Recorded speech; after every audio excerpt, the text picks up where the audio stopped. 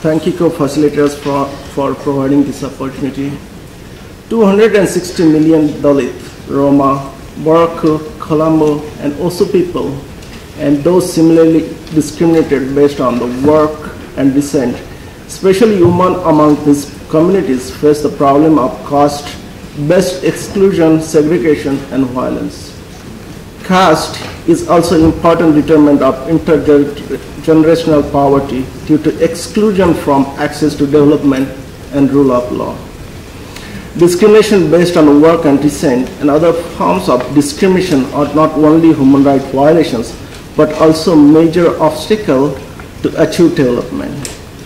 Inequalities inevitable diminishes development gains are, and are among root causes and armed conflicts. Ineffective allocations of human resources due to discrimination based on work and descent distorts the labor market and affect the efficiency of an economy. Gathered in one place, they will be the sixth largest nation in the world. And it's great tragedy if once again these issues and people affected by it are left behind unaddressed in the sustainable development goals.